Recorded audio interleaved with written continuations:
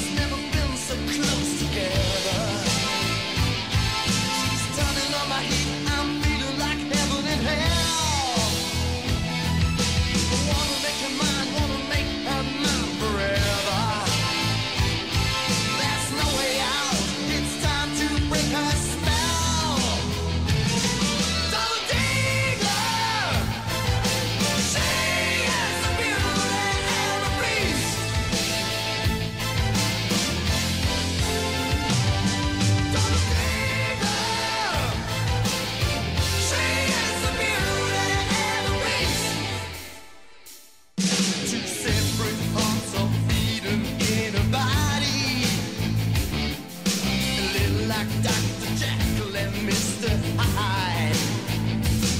She's a mystery I cannot find.